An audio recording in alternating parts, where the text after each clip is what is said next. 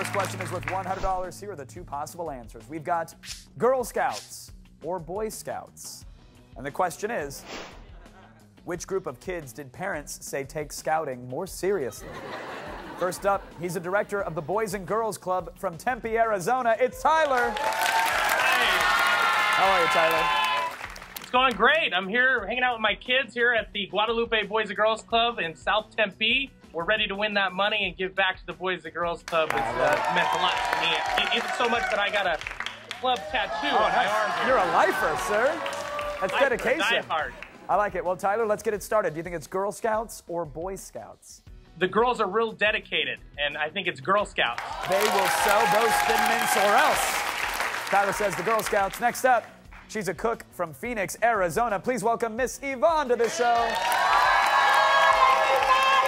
Yvonne, I know the organization is called Stand Up for Kids.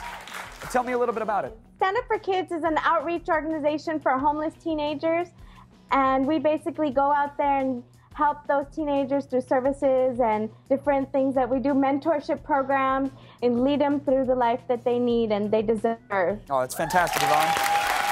Well, I wish you the best of luck for you and the cause. Let's get it started. Do you think it's Girl Scouts or Boy Scouts?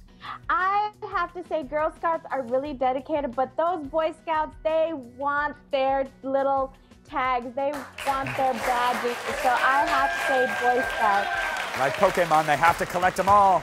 Yvonne says Boy Scouts. Next up, she's a youth programs manager from Denver, Colorado. It's Shannon! What's going on, Shannon? How are you, Kevin? We're doing great here. Just hanging out with a few of my favorite uh, boys and girls from the Boys and Girls Clubs of Metro Denver. Very nice. Shannon, what goes on there at the Boys and Girls Club in Denver? Well, we do a lot at the Boys and Girls Clubs. We actually help kids with homework, um, provide activities for the arts, technology programs, sports leagues, and we also offer free dinner for every evening for all of our young people who Oh, attend. fantastic. A great cause for both you and Tyler. But Shannon, let's get you some cash now. Do you think it's Girl Scouts or Boy Scouts? I'm going to say Boy Scouts. All right, Shannon's going Boy Scouts. Finally, he's a youth pastor from Houston, Texas. Please welcome Adam to the show. What's going on, Adam? How are you today? I'm doing awesome. How are you, Kevin? I'm doing very well. Who, who do you have with you, Adam? Uh, just some of my favorite people in the world. These are some of the kids from my youth group, and uh, I'm super excited to be here. They're super pumped to be here. Uh, this is going to be a great day. Well, good. Let's get you $50,000, Adam.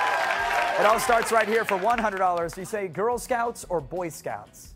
All I know is every boy dreams of someday, someday being an Eagle Scout, so I'm going to go Boy Scouts. All right, that is three for Boy Scouts. Tyler, he's hoping it's Girl Scouts. The correct answer, with 68% of the vote, they said Boy Scouts.